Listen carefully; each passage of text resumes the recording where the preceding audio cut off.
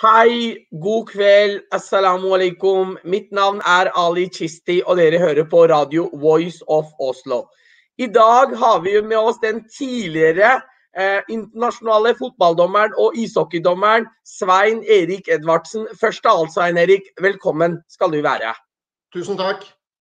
Eh, Svein Erik, eh, vi skal jo snakke i en times tid, og vi skal jo snakke om litt av hvert, men først av alt. Det er jo veldig mange som kjenner til deg, men så er det kanskje andre som ikke gjør det. Så kan du ikke starte litt eh, med å fortelle kort om deg selv. Hvem er du egentlig? Absolutt. Eh, jeg heter Svein Erik Edvardsen. Jeg ble født i Oslo 21. mai 1979. Eh, fra jeg var 0 til 2 år så bodde jeg i Hagegata på Tøyen sammen med mora mi, som er 100, 100 norsk, og faren min, som er fra Pakistan. Mm. Jeg bodde der fra null til to år, som sagt. Og deretter så flytta mora mi til Hamar sammen med meg. Og da skulle faren min til eh, Canada for å studere. Og skulle komme mm. tilbake om et års eh, tid. Eh, han kom aldri tilbake igjen. Og derfor så har jeg aldri sett faren min, bortsett fra da jeg var null til to år, og det husker jeg naturligvis ikke. Riktig. Du er jo inne på dette her med at faren din forlot deg som toåring, Svein Erik. hvordan har det vært å vokse opp egentlig uten en far, kan jeg spørre deg? Absolutt. Ehm, her kan vi spørre om alt. og eh, Det som var veldig viktig for meg, og en person som ble veldig viktig i livet mitt, det var jo bestemora mi. Hun ble liksom en sånn farsfigur for meg, en litt sånn superbestemor. Så når jeg skulle på fotballtrening, så var det hun som kjørte. Når jeg skulle på ishockeytrening, var det hun som kjørte. Eh, jeg begynte å dømme fotball eh, og ishockey da jeg var 14 år. Da var det hun som kjørte. Så bestemora mi hadde heldigvis et veldig langt liv. Hun døde i 2019 og ble 94 år. Eh, så det var bestemora mi som på en måte ble farsfiguren i mitt liv. Eh, etter hvert så fikk jeg også en annen viktig person i livet som heter Henry Øberg. Han eh, var Norges beste dommer i, før, før, min tid som dommer. Han var liksom dommerlegenden i Norge. Og han fulgte meg opp veldig tett fra jeg var 14 år og frem til jeg var i 2011, da jeg dømte cupfinalen i en alder av 32. Så bestemora mi og Henry Øberg ble på en måte de to farsfigurene i mitt liv. Mm. Eh, vi kommer til å snakke litt videre, men før vi går videre. Har dere noen spørsmål, har dere noen kommentar til det vi snakker om, så kan dere skrive det i kommentarfeltet. Så skal jeg viderebringe eller videreformidle det til Svein Erik eh, underveis i sendingen. Eh, Svein Erik, eh, en annen ting du fortalte meg på telefon, Svein Erik, var at du som 14-åring faktisk, det, tror jeg eh, ble eh, kontakta av din far, eller han ønsket å ha kontakt med deg. kan du fortelle litt om det? Absolutt. Ehm, jeg husker at det var rett før jeg skulle konfirmeres, så hadde faren min da tatt kontakt med min mor eh, og lurte på da om det var mulig å ja, hva skal jeg si, rette opp igjen, kanskje. For å si det på norsk eller pakistansk, gitt faen i tolv år. Ehm, og da hadde jeg svart nei til det, og da valgte min mor å forholde seg til det. Så det mm. var en beslutning vi tok da, og den har vi stått på siden. Riktig. Og du har aldri tenkt at uh, du har lyst til å gå og finne ut av hvem faren din var, og hvorfor han forlot deg og den type ting. Har det aldri falt deg, eller eh, kan jeg spørre det? Nei, det, det, har egentlig aldri falt meg inn. Nå er jeg så heldig å ha blitt far sjøl til en uh, datter som fyller fire år nå på onsdag. Og jeg ville aldri forlatt henne, for å si det sånn. Å bli far er det største som har skjedd meg i livet. Og det da, var det da tydeligvis ikke for min fars vedkommende. Så da har jeg slått meg til ro med det at uh, han kommer ikke jeg til å treffe. Og så skal jeg gjøre alt jeg kan for at uh, Amanda ikke skal få uh, en oppvekst uten sin far, sånn som jeg fikk. Riktig. Eh, Svein Erik, ellers oppveksten din eh, Jeg tror du har vokst opp i Hamar, stemmer det? Eh, sånn etter Oslo. Hvordan har det vært? Var det, var det Nei, Det var veldig trygt og godt. Eh, både mora mi og bestemora mi tok veldig godt vare på meg. Jeg eh, gikk på Presterud barneskole, Aier ungdomsskole og Aier videregående. og hadde det veldig veldig flott der og fikk stort nettverk i Hamar. Eh, og når jeg da begynte å dømme fotball og ishockey i en alder av 14, så fikk jeg også et stort nettverk i Norge for øvrig. Så jeg har veldig veldig mange gode både gutte- og jentevenner. og Oppveksten på Hamar var veldig trygg og god, og det skal jo da mora mi og bestemora mi ha all ære for, naturligvis. Riktig. Eh, Svein Erik, eh, vi, kommer, eh, vi, skal snakke litt om dømmingen din, selvfølgelig. Du var jo sett på som en av Norges beste dommere, kanskje den aller, aller beste. Og jeg har fått mange meldinger på forhånd av folk som snakka om at nettopp du er savnet i Eliteserien, og du er savnet i Champions League, og vi skal snakke litt om det. Men først. Du ble bl.a. kalt Tandori-dommer, husker jeg, av markedssjefen i Start. Og Jeg husker at du reagerte på det, og du omtalte det som rasisme. Eh, hvordan oppfattet du det, og hva, hva tanker du gjorde om det? Um, dette var en kamp hvor jeg dømte start mot Tromsø. Uh, og det ble uavgjort i den kampen. Det ble 1-1. Det var ingen kontroversielle situasjoner. Du veit jo som dommer når du går av banen om det har vært god eller dårlig. Og i den kampen så skjedde det ingen spesielle ting. Det var ingen medier som skulle snakke med meg i ettertid. Eh, kampen gikk eh, på søndag. men da jeg våknet opp på mandag morgen, så var det full innboks. For da hadde markedssjefen i Start omtalt meg som eh, en Tandori-dommer på Facebook. Eh, og da var det jo full eksplosjon, naturligvis. Eh, og det som jeg husker best, var jo at eh, i ettertid i hvert fall så fikk jo ikke dette noen konsekvenser for eh, Starts eh, markedssjef. Fotballforbundet straffa ikke Start i det hele tatt. Det syns jeg var helt forferdelig. Så jeg altså Det var de klassiske diplomatiske svarene da den nyheten sprakk. hvor liksom at Det er opp til Fotballforbundet å vurdere. og eh, Jeg har tillit til at Fotballforbundet sanksjonerer dem på rett måte osv. Men da jeg skjønte at Fotballforbundet ikke kom til å straffe den type oppførsel, så var det på tide å si ifra. Og da var jo både Antirasistisk Senter på banen, SOS Rasisme Da ble det jo en medieeksplosjon da jeg tror jeg sa noe sånt som at dette var reinspikka rasisme. Og det som var viktig for meg da, var å si ifra at liksom når du dømmer fotball, så kan du gjerne si at du er god eller dårlig eller ja, du kan, altså Å angripe en prestasjon har jeg aldri hatt problemer med.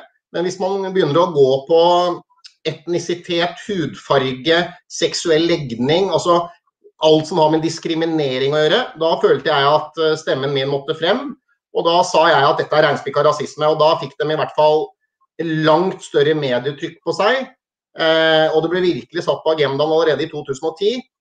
Og dessverre så er jo ikke rasisme borte fra idretten. Det har vi jo sett i norsk fotball i år. Eh, jeg har teksta masse med Amahl Pellegrino jeg, etter det han ble utsatt for. Og han ble en veldig veldig viktig stemme ja, nå var det jo fjor, da, i 2020. Da er det jo nytt år og nye muligheter. Eh, og måten eh, Pellegrino sto fram på syns jeg var veldig veldig bra. Så jeg hadde veldig god kontakt med han da det smalt. Fordi han opplevde jo da på en måte rasisme akkurat som jeg hadde gjort ti år tidligere enn han. Så mm. Eh, man må aldri eh, komme med utsagn eh, som kan fremstå diskriminerende. Når det er sagt, så er det veldig viktig at vi som har en annen hudfarge enn andre, ikke drar det rasismekortet når det ikke er grunnlag for å dra det. For det er den største fienden mot rasismearbeid. For da blir det sånn ulv-ulv, og da får du ingen tillit. Og jeg har også opplevd det hvor jeg har dømt fotball selv, og det er spillere som er mye, mye mørkere enn meg. Eh, som f.eks. har hørt noen av en hvit spiller eller en vanlig norsk etnisk spiller har sagt 'svarte faen', f.eks. Og det har jo da den norske spilleren sagt han er forbanna på seg selv eller skjøt det utafor, bomma på straffespark. Og da er det, noe, enkelte som har kommet og hørt hva han sa til meg, hørte hva han sa til meg. Og da har jeg sagt hei, nå må du ikke trekke det rasismekortet når det ikke er grunnlag for det. For det er den største fienden mot rasismearbeidet. Men Så det skal være helt nulltoleranse for rasisme. Men så har også vi et ansvar for å ikke trekke det kortet når ikke det er behov for det. Mm. Veldig kloke tanker du gjør, eh, Svein Erik. Og jeg må jo bare si at jeg hadde jo Amal Pellegrino som gjest hos meg eh, nylig. Og jeg snakket jo med han om eh, nettopp noen av de tingene du snakker om. Eh, Svein Erik, du var jo inne på noe av dette her. Men du ble faktisk kalt rasist av eh, Tion i eh, tror jeg, ja. Viking eller Molde. Jeg husker ikke hvor han spilte, men han kalte deg rasist. Og jeg husker at du reagerte veldig voldsomt på det. Hvorfor det, og hva skjedde? Nei, da var jo på en måte flisa helt snudd. Og da tenkte jeg at altså, han trakk jo da rasismekortet, som jeg nettopp redegjorde for i stad, når du ikke bør gjøre det. Eh, og det var, Han syntes jeg var jævla dårlig til å dømme, og det er greit nok, det. Han fikk et gult kort av meg. Dette var Viking mot Brann. Så var liksom slaget om Vestlandet og mye fokus rundt den kampen, naturligvis. Mm. Eh, og så kalte han meg da for en rasist, og det klarte han da å gjøre i mixzone. I, eh, altså mixzone er der alle medier står, hvor folk skal intervjues før og etter kampen. Så da hørte jo hele Medie-Norge at han kalte meg for rasist. Og da ville jo alle spørre meg naturligvis hva jeg tenkte om det. Og da husker jeg jeg sa noe sånt som at hvis dere ser på hvordan jeg ser ut og ser på min hudfarge, så er vel det siste jeg er, er å være rasist. Så det tar jeg sterk avstand fra. Og jeg sa hva jeg mente om han da. Så gikk det jo ikke lang tid før både Viking og han gikk til å beklagde det, naturligvis. Men det som, kanskje, det som kanskje er det viktigste der, det er ingen som så det at jeg er rasist, aldri hefta med meg, for jeg klarte å ta skikkelig til motmæle der og da. Men da tenkte jeg igjen, hvis det hadde vært en av mine dommerkollegaer som har lyst hår, kanskje ikke så mye hår, uten å begynne å karakterisere andre mennesker, så hadde vedkommende hatt et veldig veldig stort problem. For da kunne det fort bli at en dommer da, som er etnisk norsk og som ikke ser ut som meg, hvis han blir kalt for rasist, så hadde det neppe vært like enkelt for han å ta til motmæle som det var for meg. Og da huska jo også noen den der Tandori-saken. Det var en tre-fire år i forkant. Så liksom, ja. Det var lett for meg å avvæpne det. Fordi at øh, Jeg sa med glimt i øyet når du ser hvordan jeg ser ut, så er det jo rart å kalle meg for rasist. Mm. Ja, eh, ja, eh, det, ja, hva skal jeg si? Jeg tenker jo at eh, ja, man kan jo ikke bare fare rundt med beskyldninger om rasisme selv om hvite mennesker. Altså, eh, det blir jo veldig eh, tåpelig, og som du sier, man vanner jo ut dette rasismebegrepet da. Eh, Svein Erik, du har jo vært dommer. og jeg vet jo at mange supportere og følelser er drevet av følelser, og det er mange som lever i kampens hete. og ikke sant, Fotball er en ferskvare. Men kan jeg, responsen, altså Er det sånn at du har fått mange rasistiske tilbakemeldinger, mange drittmailer, SMS etter en fotballkamp, liksom? Eller er det eh, bare etter en sjelden gang iblant?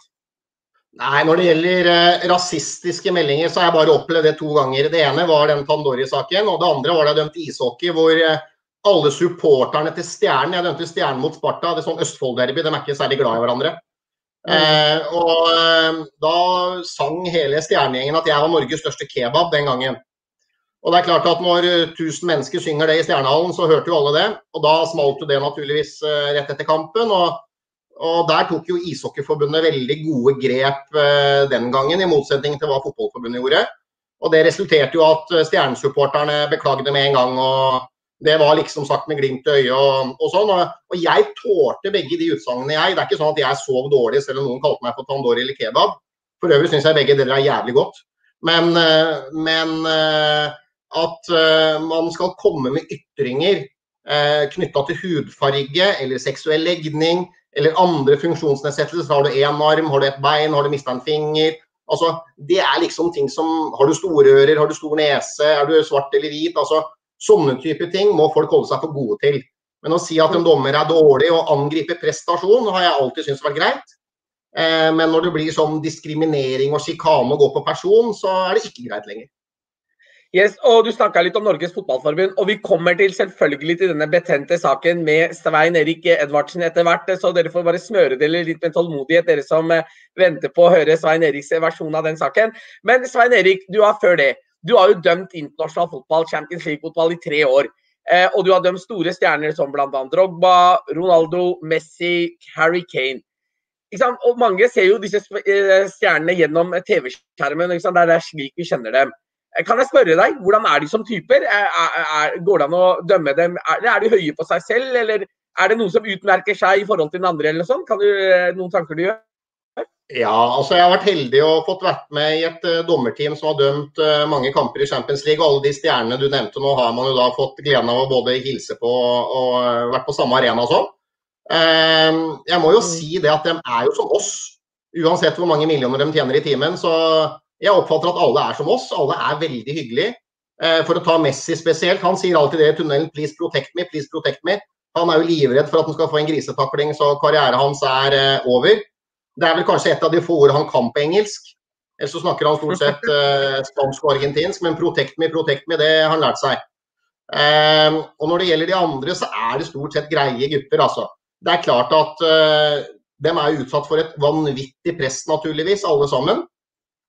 Og det er nå en gang sånn mediemekanismene funker. altså Når PSG ikke vinner Champions League-finalen, så er det Neymar sin feil. Hadde de vunnet, så hadde de blitt hylla, men ikke på samme måte.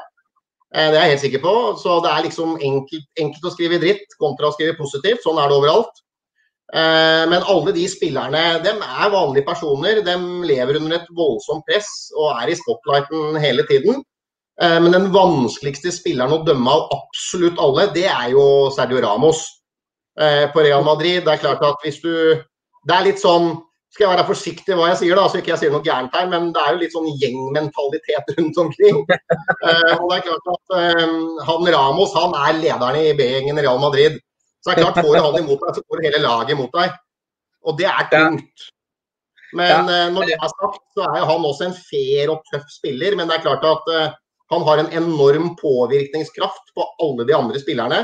Og da har du plutselig elleve mann oppi trynet på deg hver gang du blåser en frispark imot dem. Ja, riktig. Og bare når du nevner Ramos, så kan kanskje ikke du si det, men jeg sier det. ikke sant? En fantastisk god fotballspiller. ikke sant? En vinnervilje tatt ut av en annen verden. En vinnertype, en ledertype, alt det der. Men igjen, selvfølgelig. Man legger jo merke til mye av det gjennom TV-skjermen òg. Han har de tjuvtriksene sine og er litt sleip, kanskje. Eh, ja, han har sine triks, han. Og det, det, alle disse stjernene har sine egne triks. Noen takler stygt, noen, noen filmer, noen uh, provoserer frem røde kort som motspilleren skal ta av deg. Altså, alle, de, alle toppspillerne uansett liga har jo sine triks. Det er veldig spesielt med han altså, jeg må si det. Og da tenker ikke jeg på triksene hans. for hvis, hvis han får et rødt kort eller gult kort, så tar han det som en mann, han. Men han er veldig sånn opptatt av å forsvare sine egne, og det er, veldig, det er en veldig sterk egenskap, bare så det er sagt. Men det er klart det er jo utfordrende for uh, dommeren naturligvis at hvis du får han imot deg, så får du hele Real Madrid imot deg. og det er klart at uh, De ti andre på banen er én ting, men det er 80 000 tilskuere der også. Så det blir masete. Men når det er sagt, så er det jo veldig viktig at som dommere så skal man behandle alle likt, men individuelt. Det er litt sånn som å være lærer uansett hvor du er det, om du er det på Presterud barneskole eller Høvik skole i Lier. Så uansett så lærer du å være fotballdommer. Det er liksom sånn at du må behandle alle likt, men individuelt. For alle har individuelle behov. Mm. Og når du nevnte Ramos, jeg skal ikke gå inn på dette her, men sir Alex Ferguson, jeg er United-fan, og han også var en utfordring for mange dommere. Eh, altså, vi, men vi skal la det ligge for denne gang, Svein Erik. Men Svein Erik, Tom Henning Øvrebø eh, han er jo faktisk fra samme traktene som jeg kom fra, Mortensrud i Oslo.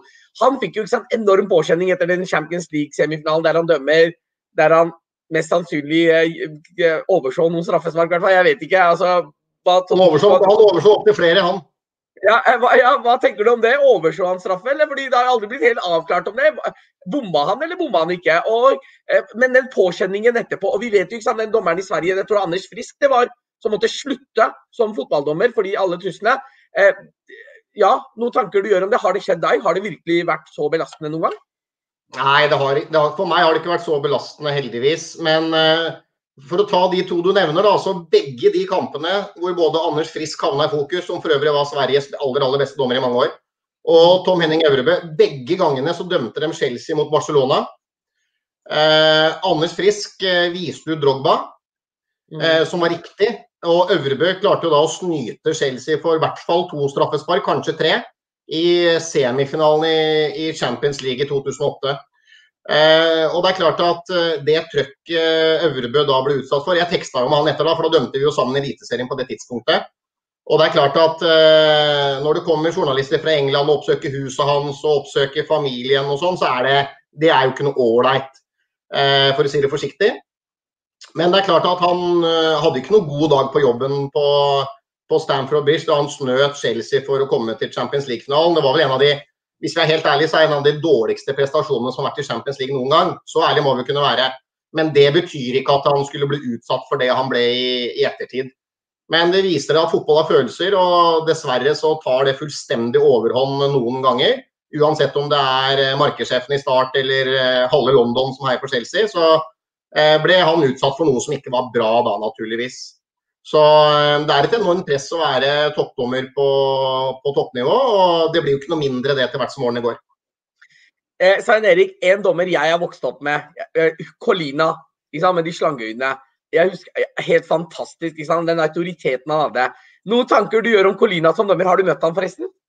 Ja, jeg har møtt han flere ganger. Han er jo dommersjef i Fifa i dag, og han var jo dommersjef i Uefa fra 2008 til 2018.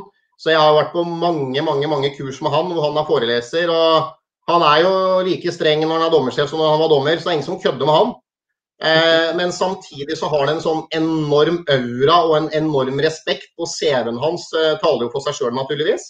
Så han er, eh, han er, big boss i dommerverdenen en dag i dag. Det er han som bestemmer hvem som skal dømme i VM nå, f.eks. i Qatar. Eh, og eh, det er vel ingen som, eh, i hvert fall ikke så langt, som har vært i nærheten av å oppnå den eh, respekten og autoriteten som han gjorde. Og Det som er viktig å si, er jo at det var jo sånn at spillerne også digga at han dømte. Fordi at da følte alle at her blir det fair og square, uansett hvem som heter hva, uansett hvilket lag man spiller på. Eh, og, det, og, så blei han liksom en legende, så selv om han dømte feil straffespark, så trodde alle at det var riktig. Eh, selv om TV-bildene viste at det kanskje var feil, så, liksom, så syntes alle det var greit likevel. Så han klarte å opparbeide seg en respekt som var helt sinnssyk. og Og tilsvarende har han klart som dommersjef. Så når han sier hopp, så hopper alle dommerne, for å si det sånn. Riktig. Eh, Svein Erik, jeg, jeg husker eh, en episode fra en jeg tror det var Graham Paul, jeg er ikke helt sikker på om det var han. Men det var en spiller som hadde fått gult kort. og Så skulle han byttes ut, så brukte han for lang tid. og Så gikk Graham Paul, sto seg på sidelinja. og så Når han skulle byttes ut, så drar han fram det andre gule kortet. Rødt kort. altså Spilleren får ikke komme inn engang. Eh, jeg vet ikke om det var Graham Paul, men altså, da tenker jeg da har du guts som dommer. altså da er du, eh, Har du opplevd noe slikt?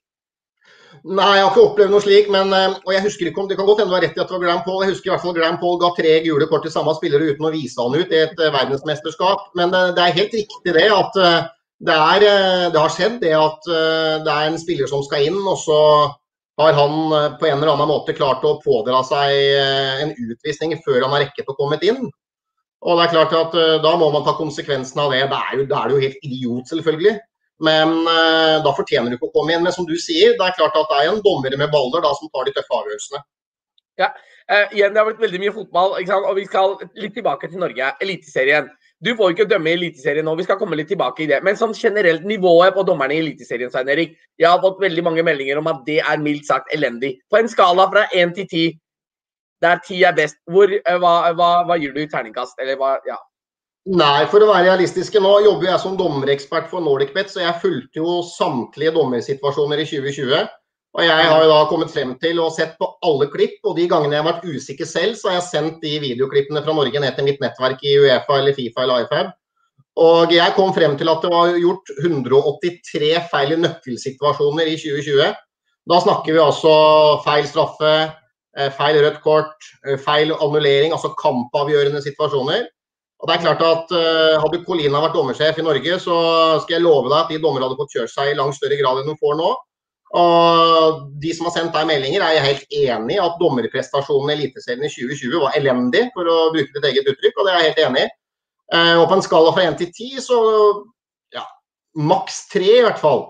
Hvis man uh, legger sesongen 2020 til grunn, så får vi håpe at det blir 2021. Og nå er det jo mange som tror at jeg liksom sitter og ler og håper det går dårlig, og at jeg har agendaer og sånn. Og det, det, stemmer ikke i det hele tatt. Jeg tror ikke det finnes så mange i Norge som har større dommerhjerte enn meg. Hvis de mine tidligere kollegaer hadde klart å prestere på et høyt nivå, så er jeg den første som skulle hylla dem på, som dommerekspert. Men samtidig så har jeg en rolle nå som dommerekspert, og da må jeg rise og rose. Og jeg har klart å rose noen som har vært gode, men det har dessverre blitt eh, mer pepper enn ros i 2020, og det er pga. de elendige prestasjonene som har vært.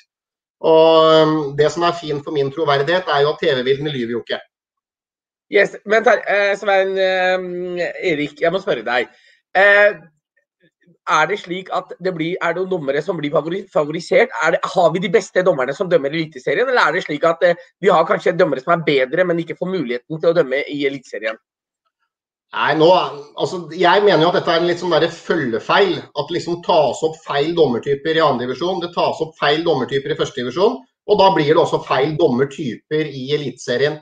Jeg mener jo at mange av de som dømmer Eliteserien i dag, aldri burde ha vært eliteseriedommere. Fordi at man ikke har de egenskapene man trenger som eh, toppdommer. Og Et godt eksempel, en som heter eh, Sulman Hussein. Han er en veldig flink advokat, jeg har vært og lest i avisa.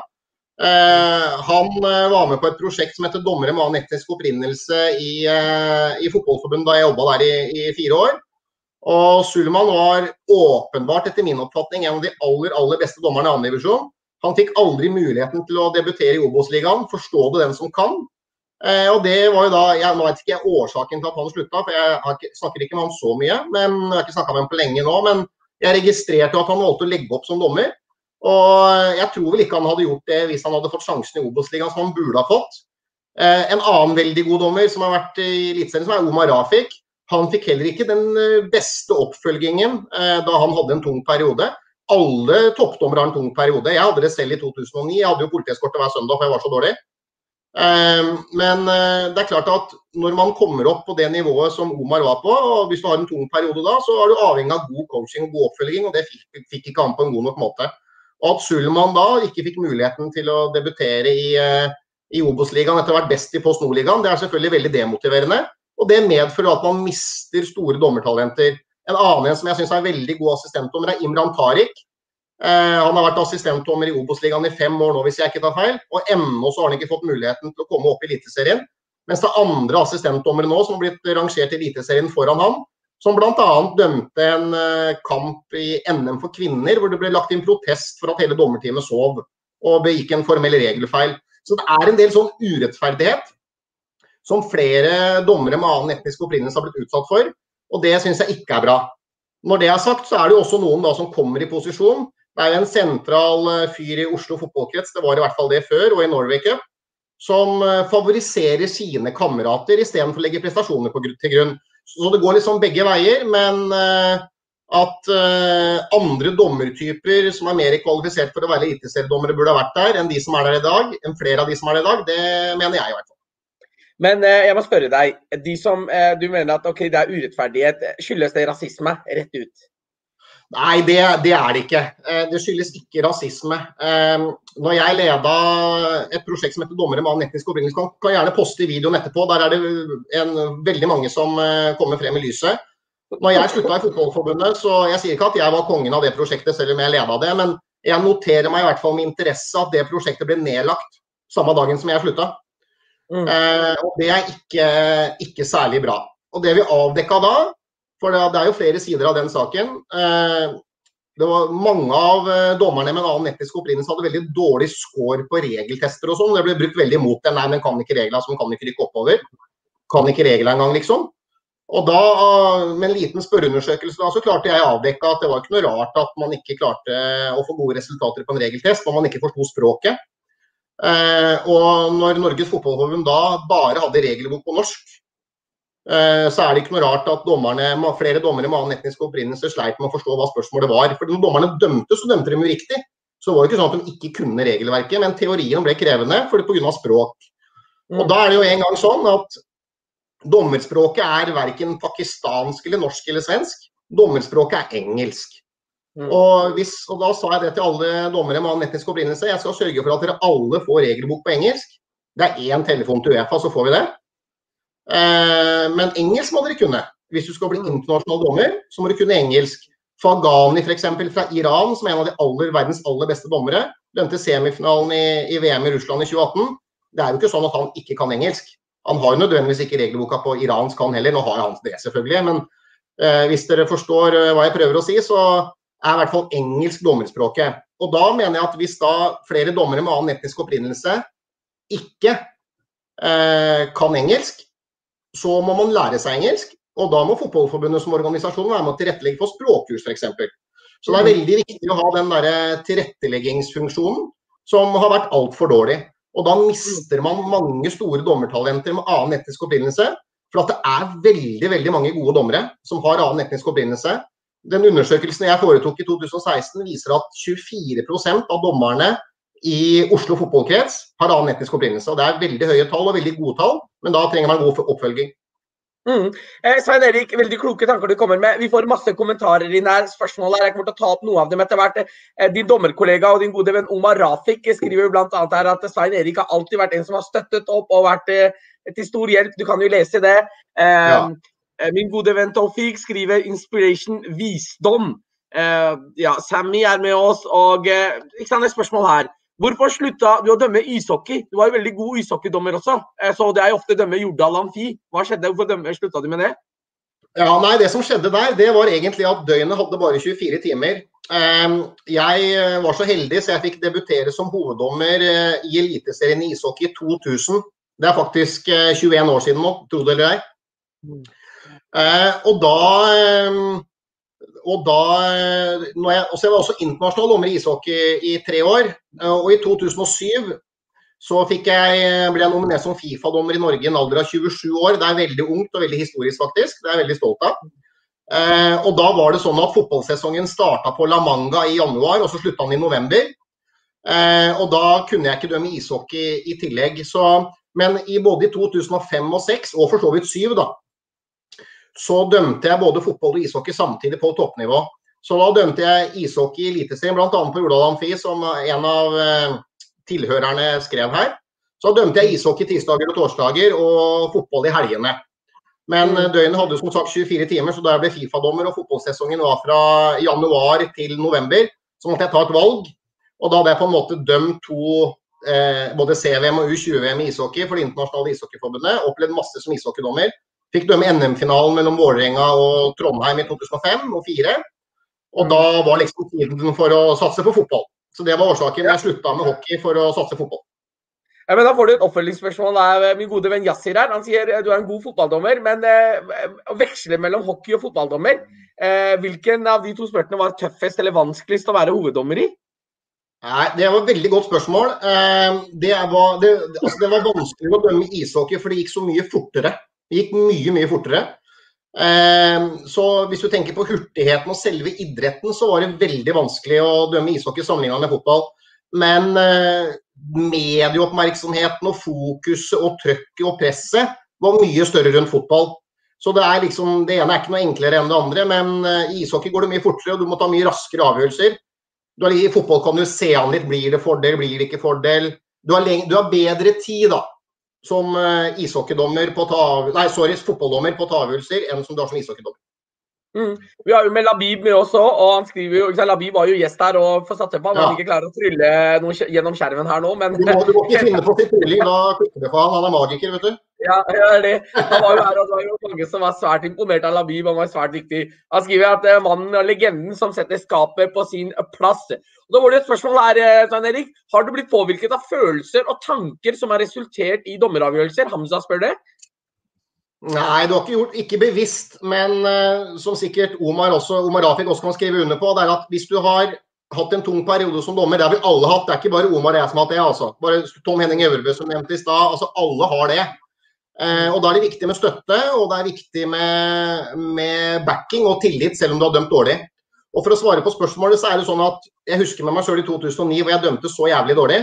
Du dømte dårlig på søndag, masse bråk i avisa. ikke sant? Og det, det, det er ikke sånn, Den gangen så pågikk det en uke, da. Du var dårlig en uke, ikke sant. Og da mister du masse selvtillit. Og vi mørke, da, som i over, har i overkant eh, bra selvtillit i utgangspunktet flere av oss, da. Så ærlig må vi være å si, vi tror vi er konger ganske ofte, noen av oss. Jeg trodde i hvert fall det i 2009. Eh, hvor jeg liksom hadde hatt kjempesuksess i 2007-2008 og var liksom største dommertalent i Norge. og Det var liksom ikke måte på. Og så får du en veldig tung periode i 2009. og Da dømmer du jævlig dårlig. Og etter du har dømt dårlig da i to-tre søndager på rad, så kommer jeg til svaret på spørsmålet. Og det er at da begynner du i hvert fall å tenke at uh, i dag må det ikke skje noe, altså. Nå har, vært, nå har, jeg vært så dårlig to ganger og jeg har så mye press på meg, så i dag må det ikke skje noe. Og hva skjer da? Da skjer det noe, selvfølgelig. Så du får en del sånne negative tanker, og du tenker at nå må det ikke skje, nå må det ikke skje, og da skjer det. Og så er det uttrykket helvete i gang igjen. Riktig. Stein Erik, vi skal som sagt snakke om denne betente saken etter hvert. og Da har du gitt meg tillatelse til å stille deg kritiske spørsmål. Men før det, et siste spørsmål. Eh, det ble jo laget en sang. Eh, hvor er dommer eh, Edvardsen av ja. Hank von Helvete? Og jeg kjenner ikke til Hank von Helvete, men jeg vet at han er en profilert greie. Men kort, hva handler den sangen om, og hva er greia egentlig? Nei, det var eh, en eh, veldig kjent artist som heter Mats Belden. Eh, han hadde hatt, hadde hatt utsolgte kirkekonserter i mange år, ikke i fjor naturligvis pga. covid-19. Men han tok kontakt med meg, og han anses som å være Norges nye Jan Werner Danielsen, Mats Belden, og lurte på om han kunne skrive en låt om meg. Han syntes det var veldig urettferdig at ikke jeg fikk lov å dømme. Og Da sa jeg til han at det må du gjerne gjøre. Og så Mats Belden skrev en dommelåt, fikk med Jan Eggum på laget, for det er jo melodien til Hvor alle helter hen? Eh, og Hank von Helvete, da, Hans Erik Dyvik Husbys, eh, ble vokalist. Og den sangen ble gitt ut i fjor sommer. Og i løpet av en ukes tid så var det vel eh, på Facebook og YouTube til sammen så var det vel over 200 000 som hadde sett den. Og så vidt jeg har forstått nå, så kommer den på Spotify etter hvert. Så det var en veldig sånn, Jeg satte veldig pris på den støtten, naturligvis. Det var en enorm støtteerklæring til meg. Så alle må høre den låta. Eh, riktig. Eh, Svein Erik, jeg tenkte at eh, vi i utgangspunktet var ferdig med eh, del én av dette intervjuet her. Og vi kan selvfølgelig komme litt tilbake til noe mer etter hvert. Men Absolutt. jeg tenkte å snakke litt med deg om sant, denne, denne, saken her som har fått så veldig mye oppmerksomhet i media. Og Det er jo sikkert veldig mange som er interessert i å vite egentlig hva som skjedde. og Du har jo snakket litt om det, men jeg tenker at du også kan dele dine tanker nok en gang. Og kanskje kommer jeg til å spørre deg spørsmål med en litt annen tilnærming enn det du er blitt stilt før. Dette er jo en sak som kanskje ikke sant? Eh, eh, ja, hører du meg? Jeg hører. Ja. Du, eh, bildet ditt bare låste seg litt, vet du, så ja, men det er bra. Okay, ja, eh, jeg, saken er kanskje Ja, eh, Idretts-Norges mest eh, omfattende arbeidsrettssak. Kan jeg spørre deg hvilke følelser du sitter igjen med etter alt det som har skjedd? Ja. Eh, nå var dette en konflikt som starta egentlig med en diskusjon med den som skulle være assistentdommerne mine. Eh, hvor jeg følte meg urettferdig behandla. Men for å svare på spørsmålet ditt, utenom å avspore, som jeg er veldig flink til egentlig, eh, så er jo Nei, jeg sitter med blanda følelser etter at det har skjedd. Jeg eh, var på det tidspunktet rangert som Norges beste dommer, og jeg følte at eh, det starta en liksom kampanje mot meg. Kjetil Siem var generalsekretær i Fotballforbundet på den tida. Han er den som er mest opptatt av inkludering som jeg kjenner. Det var også Inge Andersen som var generalsekretær i Idrettsforbundet. Så det var liksom to toppledere som virkelig tok inkluderingsarbeidet på alvor og ga meg veldig stor tillit, Kjetil. Så slutta han fordi han fikk toppjobb i Fifa. Og da følte jeg at det var mange som var ute etter meg. Det var den følelsen jeg hadde da. Og i ettertid så har jeg samme følelse at liksom Men hvorfor det? Liksom... Hva sa du? Men jeg må bare spørre deg, Svein Erik. Hvorfor det? Hvorfor det? Hvorfor var det ute etter deg? Hvorfor hadde du den følelsen?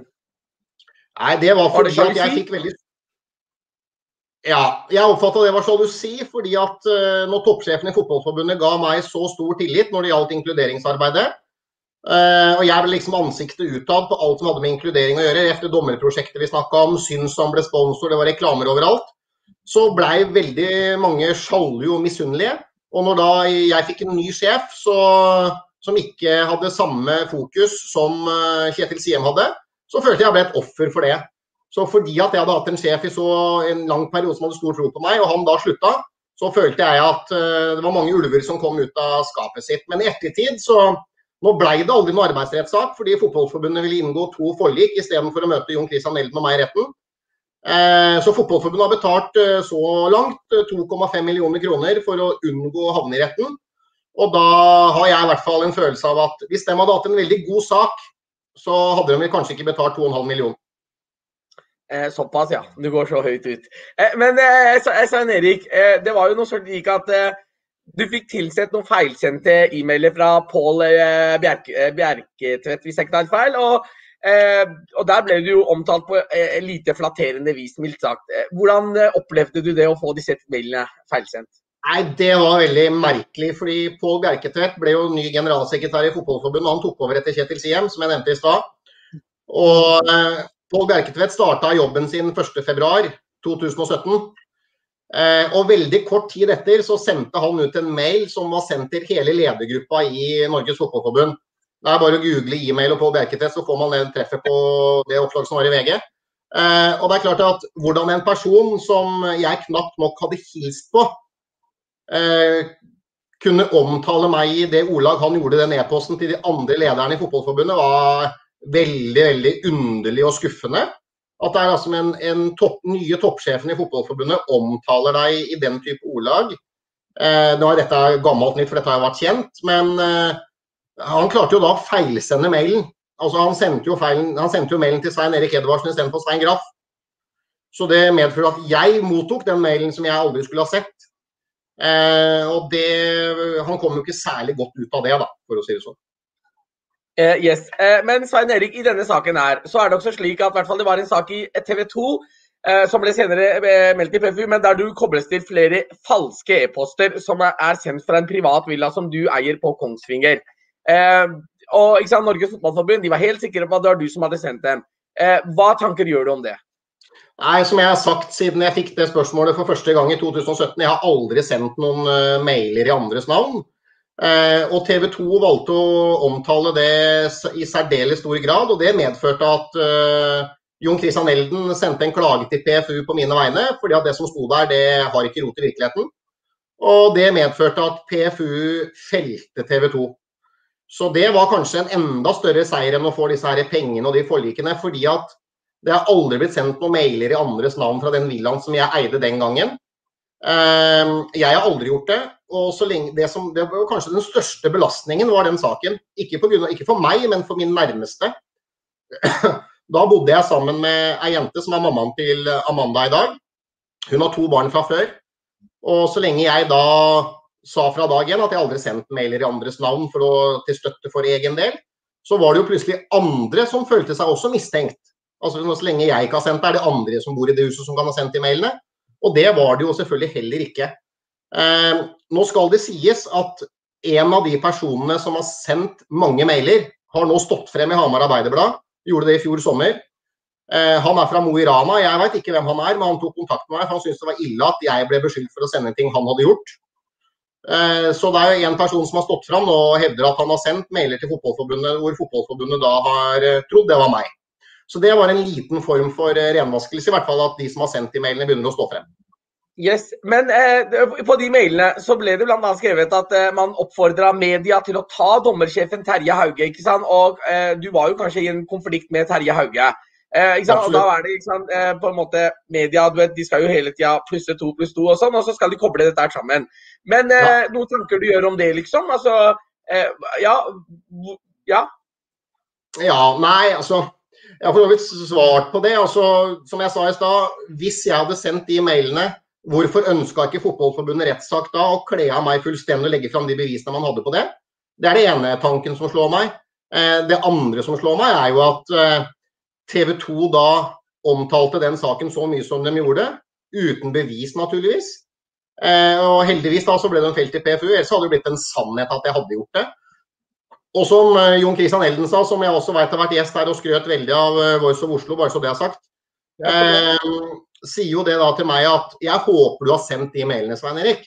At det er ikke noe gærent som står i de mailene. Det står jo bare at Terje Hauge må skjerpe seg og du må få dømme. Det er jo ikke noe trusler, det er jo ikke noe injurerende, det er jo ikke noe stygge ting. Det var ikke noe trusler. Det var jo ikke den type ting i de mailene. Så jeg husker Jon Christian sa til meg i 2017 jeg håper du har sendt de mailene. For det viser jo bare hvor mye dømming betyr for deg. Det er greit å ha vært idiot som har gjort det, hvis du har gjort det. Men det er mye lettere for meg å forsvare deg hvis du har gjort det, enn hvis du ikke har gjort det. Men jeg sa jeg har altså ikke gjort det. Og da sier Jon Christian da må du ikke erkjenne det heller. Så det gjorde ikke jeg. Mm. Men OK, uh, alt dette er til side. Hva tror du oppriktig, Svein Erik, hva skyldes alt dette dramaet her? Hvorfor denne kampanjen mot deg, og at, de, at, du er en av Norges beste dommere, men du får ikke lov til å dømme Eliteserien? Det er jo en paradoks, liksom. Hva, hva, skyldes alt dette her? Hva er dine tanker om det? Det, altså det starta med sjalusi, fordi at det kom inn et nytt regime i Fotballforbundet. og han Edvardsen, da, som liksom var kronprinsen i Fotballforbundet under Kjetil Siem, han skal vi nå sette på plass. Sånn mm. opplever jeg at det starta. Og så er det jo en gang sånn at uh, det har vært en årelang praksis om at de beste dommerne skal velge sine assistentdommere først. Og Svein Oddvar Moen var ranka som nummer én, og jeg var som nummer to. Og så var det en del Frank Andås slutta da som assistentdommer. Eh, det er en lang historie, men det var heller ikke noe fair behandling. Og det medførte at Svein Oddvar Moen tok en av mine assistenter, som var helt greit så lenge han var rank 1. Og da tok jeg for gitt at jeg skulle få velge som nummer to. Men så fikk jeg beskjed om at jeg skulle velge som nummer fire. Og Da spurte jeg hvorfor skal ikke jeg få velge assistentdommer som nummer to, når jeg ranka som nummer to av Colina, Fifa og Uefa. Og da fikk jeg til svar at som dommersjef bestemmer jeg at det er sånn. Det syns ikke jeg var noen god forklaring. Og så utfordra jeg systemet i veldig, veldig stor grad. Og så tok det ene det andre. Og så Grunnen til at ikke jeg dømmer fotball i dag, det er at jeg oppfattes nok som persona non grata på Ullevål stadion hos Fotballforbundet, fordi at eh, vi har størt, tørt å stå opp mot dem. Det starter et million, eller milliardgodstog mot deg med herreløse midler. En, det er liksom David mot Goliat. Det starter et voldsomt tog mot mannen i gata. Men eh, jeg var psykisk sterk nok til å stå opp mot det, og en veldig flink advokat som ga mange gode råd til meg. Så vi, har, vi er vel de eneste som har klart å ta opp kampen eh, mot dem. Og med to streker under svaret så føler jeg at jeg til en viss grad er renvaska for de anklagene som ble fremsatt mot meg. Eh, det kosta Fotballforbundet veldig mye penger, for de ville heller betale istedenfor å møte oss i retten. Og det kosta meg dessverre dommerkarrieren. Men nå har jeg vært heldig og opplevd det jeg kan som dommer, stort sett. Men jeg hadde ti gode år igjen og syns det er trist at jeg ikke får lov å være med og bidra for norsk fotball. Og så er det jo litt rart at liksom fordi at du har utfordra et eh, monopolsystem, så er du da ilagt livstidsstraff, tydeligvis, som dommer. Uten å ha gjort noe gærent, uten å ha blitt straffa for noe. Og har selvfølgelig plettfri vandel både i idretten og i det sivile. Så jeg er ikke straffa for noen ting, verken i det sivile samfunn eller idretten. Men eh, får altså ikke lov til å dømme, og det koker ned til eh, personlig prestisje fra enkeltpersoner. Men er, det, er, den døra helt lukket, er det kapitlet helt lukket, eh, Svein Erik? Eller er det sånn at hvis det kommer en ny eh, fotballeder, eh, så kan den døra åpnes igjen? Noen tanker du gjør om det, eller er det, tenker du at det er over og ut? Nei, altså hvis det skulle komme inn et uh, nytt regime i Fotballforbundet, så kommer jo vi til å henvende oss og spørre, vi. Jeg har jo spurt om å få til en samtale med den gjengen der det har inngått to forlik. Først et dommerforlik og så et seksjonslederforlik. Nå er vi tilbake igjen. Det første forliket var i mai 17 og det andre var i juni 18, så det begynner å bli noen år siden.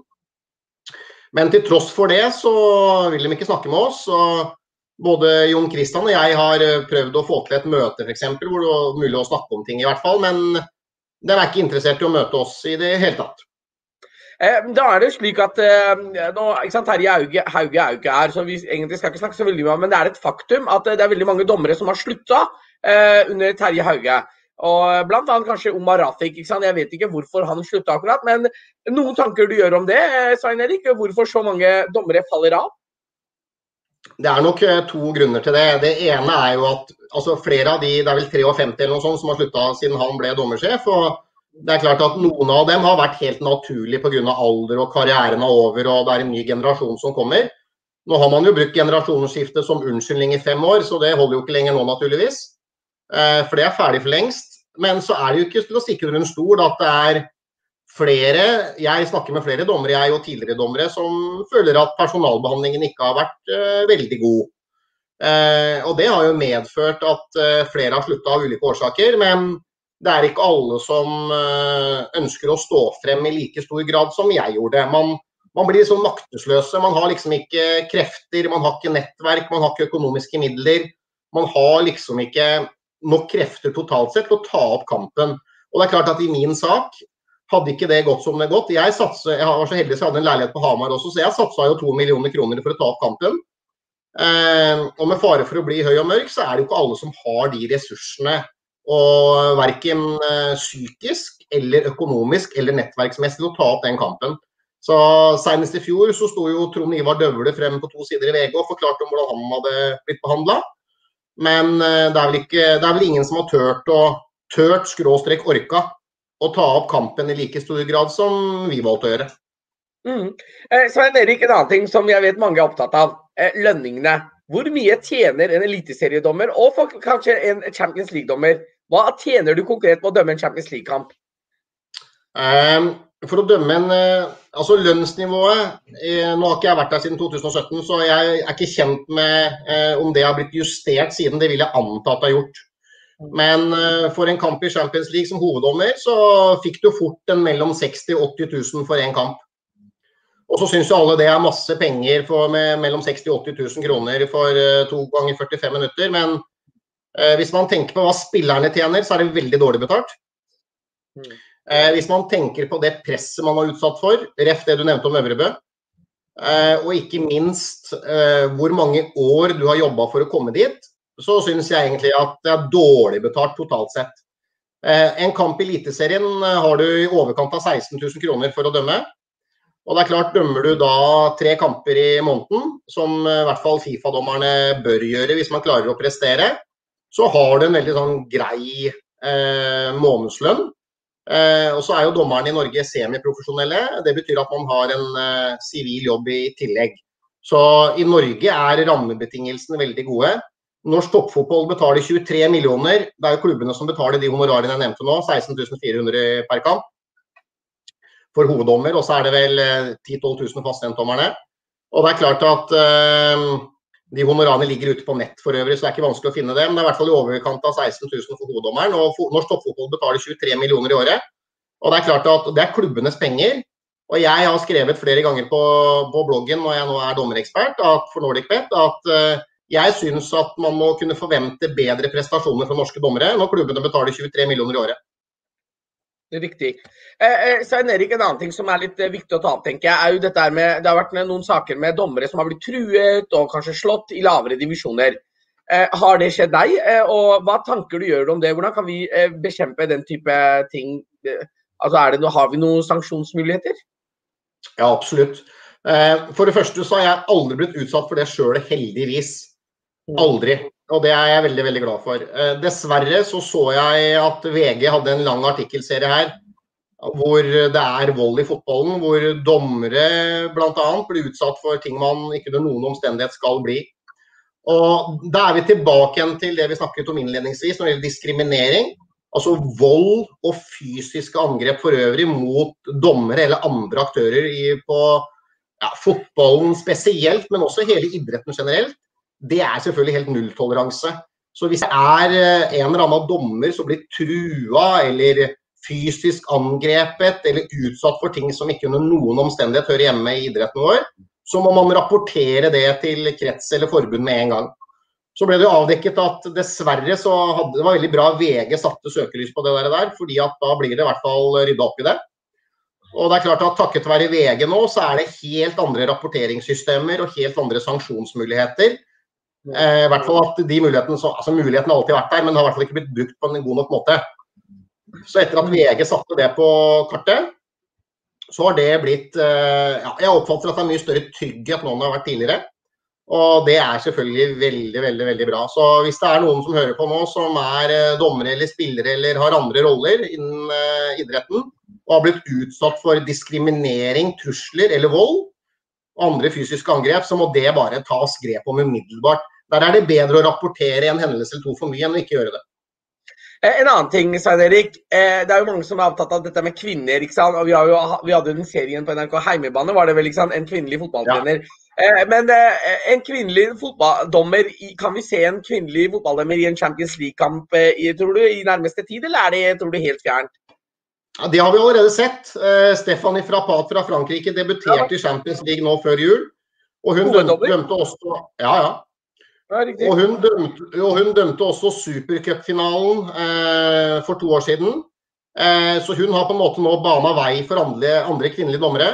På det prosjektet jeg leda med dommere med annen etnisk opprinnelse, så var det også flere kvinnelige dommere med annen etnisk opprinnelse som var fantastiske ambassadører, og som gjorde en fantastisk jobb for Fotballforbundet den tiden jeg var der. var det i hvert fall, De gjør det sikkert ennå. Så jeg tror absolutt at det er store muligheter for eh, kvinner med annen etnisk opprinnelse også å lykkes som fotballdommere. Og så syns jeg også at eh, mennesker eh, med annen etnisk opprinnelse blir litt sånn Ja, hvordan skal jeg uttrykke meg? Blitt utsatt for anklager som ikke er riktig. F.eks. dette med dugnad. Der også gjorde jeg en kartlegging så sa alle at nei, men minoritetene de er jo, møter aldri opp på dugnad. Og så sa jeg men er det noen som har forklart dem hvorfor de skal på dugnad, da? Er det noen som har forklart dem hvordan Idretts-Norge er tufta? Har vi noen velkommen-brosjyre hvor vi forklarer at hvis du står i kiosken nå i tre lørdager, så medfører det at du slipper å kjøpe drakter til sønnen din f.eks., eller dattera di. Og der har jo organisasjonen svikta. Altså, jeg er, sånn jeg kjenner eh, mennesker med annen etnisk opprinnelse, er det ingen der som ikke stiller opp. Ingen. Tvert imot. Jeg mener at mennesker med annen etnisk opprinnelse er mye flinkere enn nordmenn til å stille opp for barna sine og hjelpe til. Men man må jo forstå hvorfor man skal gjøre det. Naturligvis. Og Da må jeg bare skyte inn dette her. Eh, jeg bor jo på Holmlia. Jeg, eh, jeg er vokst opp på Klemetsrud, og det er veldig veldig mange med minoritetsbakgrunn som faktisk stiller opp. Jeg har en veldig god venn av meg som trener juniorlag, står i kiosker og dugnadsarbeid. Det omfatter jo ikke bare fotball. Det er mange som stiller opp med veldig mye annet. og natteravnere og Selvfølgelig kan allting bli mer bedre, men dette måtte jeg bare presisere i og med at du tok det opp. fordi dette er noe som blir ofte påpekt fra ytre høyre. Dette er med at eh, med folk med minoritetsbakgrunn ikke stiller opp på dugnad og den type ting. Jeg personlig kjenner veldig mange personer. Jeg kjenner f.eks. en gruppe med mennesker som faktisk er nede i Syria nå. Ok, greit, du er ikke i Norge, men hjelper på frivillig basis. ikke sant? Ja. Og det er en gruppe på åtte-ti eh, med minoritetsbakgrunn. Eh, gå litt videre. Rizwan Ali, min gode venn, han er faktisk fotballtrener sjøl. Og han på, eh, han er utdanna innen idrett og han jobber på Bjørnholt videregående skole som miljøarbeider. Og et veldig relevant spørsmål, tenker jeg. Eh, litt langt spørsmål, så jeg får ikke det opp på skjermen, men han spør. Det er mange gode spillere med minoritetsbakgrunn i toppfotballen i Norge. Hvorfor gjenspeiler det ikke blant ledere, trenere, dommere osv.? Er det for dårlig kvalitet eller for lite fokus blant eh, eh ja, eller liksom, løfte fram ledere med minoritetsbakgrunn? Um, og hvorfor finnes det ikke kvote for å ta inn flere med minoritetsbakgrunn? Har kommet noen artikler om det i noen år, men det skjer ingenting. Hva tanker gjør du om det? Det er et veldig veldig godt spørsmål, og det er et veldig relevant spørsmål. Og svaret veldig kort er at det jobbes altfor dårlig med å gi minoriteter tillit og gi dem muligheten. I Fotballforbundet, og da tilbake til Kjetil Siem, han var den eneste som tørt, virkelig turte å gi folk muligheten. Og så prøvde jeg å gjøre alt jeg kunne i henhold til mandatet jeg fikk fra han. Og i Fotballforbundet hvor det var over 200 ansatte i 2016, så var det kun to stykker som har samme hudfarge som meg. Det var jeg, og det var Joel Binham som jobber på overgangsavdelingen i Fotballforbundet en dag i dag. Så jeg Altså, det er i hvert fall ikke kvalitet som er mangelvare. Det er å tørre å gi folk tillit, og tørre å satse på minoriteter i de andre typer rollene. Eh, og der, der er lederne altfor feige. Jeg er i hvert fall selv både engasjert minoriteter og ikke minst kvinner. Um, og da, det ble jo sånn at uh, VG lagde vel en sak på det, tror jeg, hvor jeg starta NFF. At, uh, for da var det også kvinner som var tema, i tillegg til minoriteter. Og de, da hadde de regna ut at i løpet av de, de 14, mine 14 siste ansettelser, så var 12 kvinner. Og da ble det sagt med liksom glimt i øyet at det er ingen gutter som trenger å søke engang nedoverst av kontaktpersonen, de får ikke jobbe likevel. Så da kom det motsatt. Nå var det sagt med glimt i øyet, da, bare så det er sagt. Men, men igjen, minoriteter får dessverre altfor liten tillit i norsk idrett. Man får altfor for, få muligheter til å virkelig vise seg frem. Og da snakker jeg også om at jeg, jeg, tror ikke det er mange, hvis det lages en, en eh, spørreundersøkelse eller en kartlegging, så er jeg ganske sikker på at det er mange som søker jobber i idretten som er overkvalifisert for å ha jobben, men hun kommer ikke på intervju engang fordi man ser navnet på CV-en. Nå setter jeg det veldig på spissen og er veldig stygg, men jeg tror det er sånn. Uh, og jeg må bare si det, Isfan Ali, en veldig kompetent uh, fotballtrener. Jeg snakker mye fotball med han, og, og, han har kanskje ikke fått de mulighetene han føler han fortjener. Da, bare for å ha sagt dette her. Kanskje ja, jeg skal sette meg uh, opp med han med deg etterpå, Svein Erik. ja. Svein Erik, jeg må bare Vi har ikke så god tid igjen, vi nærmer oss slutten, men kort, kort. VAR. Det er noen som lurte på dette med VAR og Eliteserien. kommer vi til å se det, Du snakka litt om dette med meg før sendingen. Kan du snakke litt kort om det? Absolutt. Ja, VAR kommer til Norge. Når TV 2 får en ny TV-avtale fra 2023, er det vel, så vil VAR bli innført i Eliteserien i første omgang. Eh, VAR-senteret kommer til å være på Økeren. Akkurat som det er et VAR-senter i Premier League, så blir det VAR-senter i Norge. Det kommer til å være på Økeren. Så VAR blir innført i Norge når TV 2 tar over TV-avtalen fra Discovery om noen år. Eh, og når det gjelder økonomi da, så regna jeg på det, i hvert fall etter VM i Russland i 2018, at det koster 85 000 per kamp. Nå vil jo kostnadene bli mindre når man har et VAR-senter og ikke har egne VAR på hver arena, naturligvis. Så det økonomiske har rydda veien med den nye TV-avtalen. Men det jeg er mest bekymra for, er hvem som skal være VAR. Fordi at hvis noen tror det er lett å være videodommer, så tar man veldig feil. Der jobber man under stort press. Det skal gå veldig fort. Og man skal egentlig anbefale dommeren som er på banen og si at hør her, gutten min, du må komme ut og se en gang til. Og hva eneste myndigheten var her, er jo å anbefale dommeren eh, å se på situasjonen en gang til. VAR bestemmer jo ikke. VAR har bare en anbefalingsmulighet.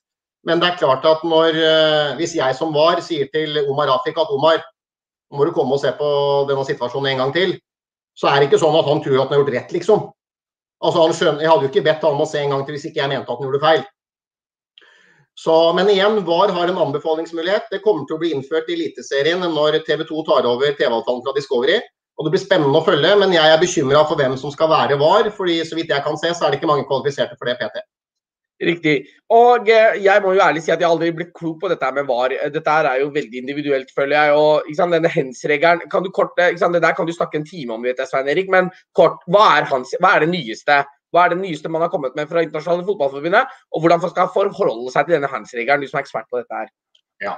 Nei, altså Før så var det mange elementer som skulle hensyntas. Bare veldig kort. Det var avstand, det var ball søker hånd, sønn hånd søker ball, unaturlig stilling med armen osv. Så, videre, og så, så prøvde IFAB, som er det internasjonale regelorganet, å forenkle dette her de har jo ikke lykkes med det, det må være så ærlig å si det. For nå skjønner jo folk enda mindre enn det man gjorde før regelendringen.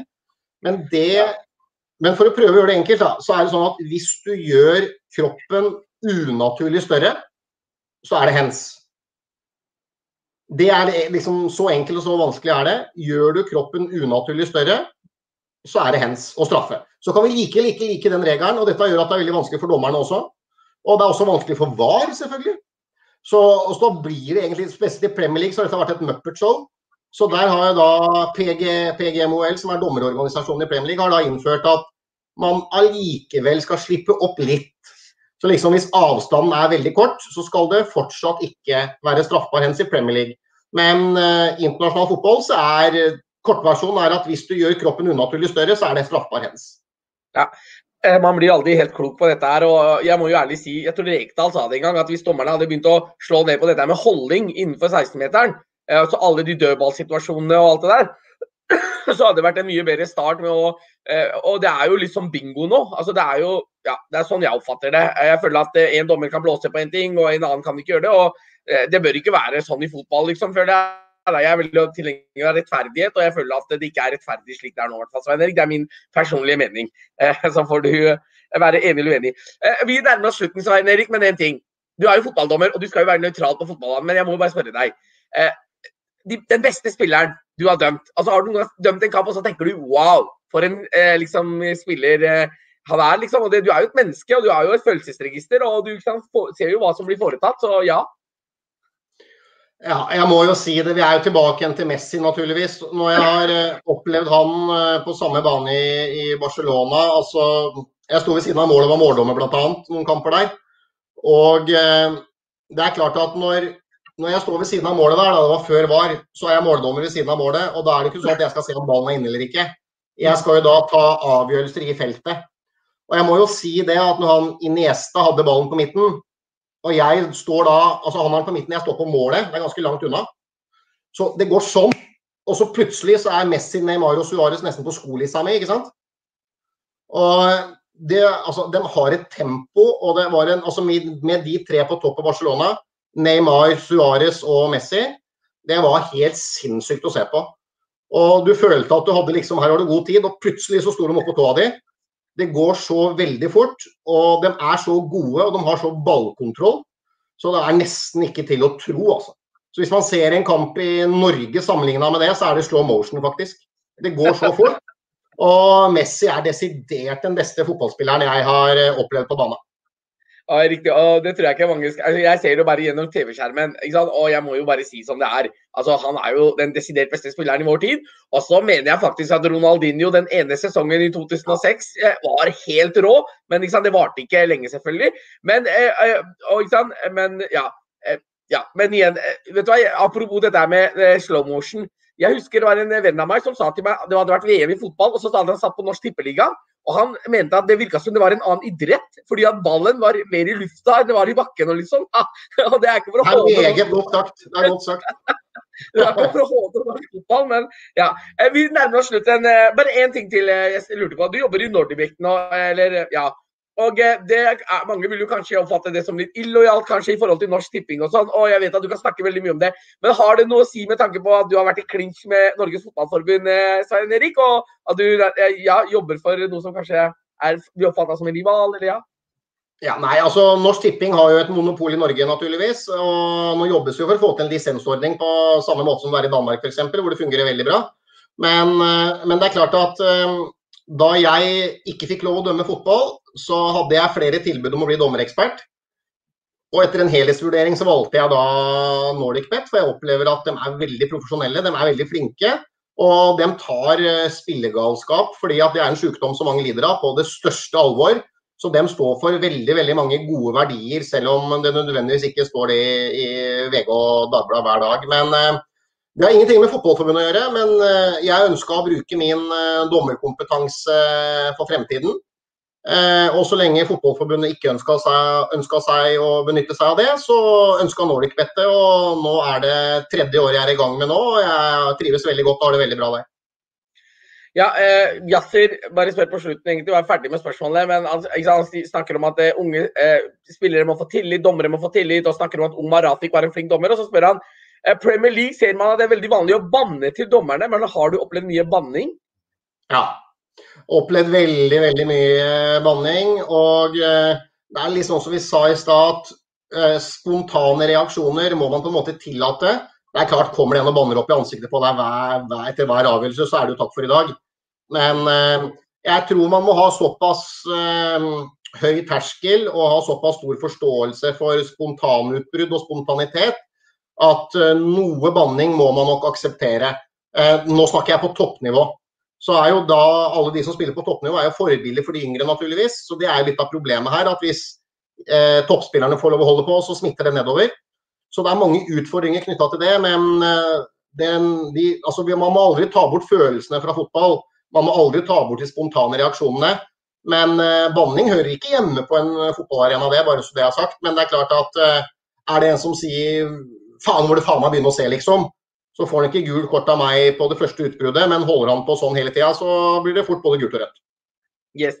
Eh, tusen hjertelig takk, Stein Erik. og eh, skal, Du skal få et avsluttende ord òg. Jeg må først også takke Rudi og Simen eh, fra Fotballforumet. De var veldig flinke til å sende meg noen spørsmål som var relevante, som jeg fikk god hjelp av. takk, Rudi og Simen. Vi snakkes på Fotballforumet. Og tusen takk til alle dere som har vært med under sendingen, som har sendt spørsmål, som har sittet og lytta på. Og igjen, jeg føler at det var en veldig fin samtale, Stein Erik. Jeg må bare si det. I like måte. Eh, du er hovedgjesten, Svein Erik. Eh, du skal få avsluttende ordet. En oppfordring du ønsker å komme til Fotballforbundet, kanskje et budskap til media, kanskje til folk. Det er mange med minoritetsbakgrunn som sitter og hører på. Et eller annet. Du kan avslutte det på hvordan du vil. Absolutt. Og det blir til den viktigste gruppa. Det blir til alle minoritetene som hører på. En ting som er veldig viktig, selv om man møter motstand, og selv om man føler at man ikke får de mulighetene man er kvalifisert for, man må aldri gi opp. Man må aldri gi opp. Man må alltid fortsette å ha troa. For en vakker dag så får man muligheten. Og jeg er helt sikker på at desto flere minoriteter vi får i posisjon, desto enklere er det å rekruttere nye. Så det er viktig at vi får frem noen forbilder. Kadafi Saman i TV 2, som er en god venn av meg bl.a. Fantastisk forbilde for flere. Virkelig satt ting på agendaen nå. Så det viser at det er muligheter. Så de som har store mål og ambisjoner, må aldri gi opp, selv om man møter stor motgang. Så stå på videre, alle sammen helt fantastisk, og det må jo være veldig inspirerende for folk å høre deg, Svein Erik. Og jeg må bare si det, jeg hadde Kadafi som gjest også her, og en fantastisk journalist. og et fantastisk menneske for øvrig òg. Og jeg har veldig mange spennende gjester også i fremtiden. Men først av alt, Tusen hjertelig takk, Svein Erik, eh, for at du tok deg tid. Kom, delte dine kloke tanker. Og jeg synes Du svarte, du er jo en veldig dyktig retoriker, og du snakker jo veldig bra for deg. Eh, så jeg tror ikke at du oppfatta noen spørsmål så ubehagelige. Eh. Jeg syns du var kjempeflink. Det var veldig hyggelig å være gjest. Tusen takk for at jeg ble invitert. Så bra. Tusen hjertelig takk. Og nok en gang tusen takk til alle dere som har vært med. Følg med videre. Vi har med flere spennende gjester i fremtiden. Eh, nå får dere ta vare på hverandre, kose dere der dere er og holde, holde disse covid-tiltakene. Nok en gang, Svein Erik, ta vare på deg. Eh, så holder vi kanskje kontakt og kanskje har med deg i en senere anledning. Og du vet, jeg, jo, eh, jeg er veldig interessert i fotball, og, og, jeg kunne jo faktisk tenke meg å ha med deg i, i en eller annen form i fotballsetting før en storkamp eller noe sånt. Vi får snakke litt om det. Men Absolutt. igjen, om du passer. Tusen hjertelig takk, Svein Erik. Ta vare på deg. Ha en fortsatt fin kveld. Ha en fortsatt fin kveld til alle dere sammen. Vi snakkes. Ha det bra. Allah hafiz. Fi aman Allah. Ha det.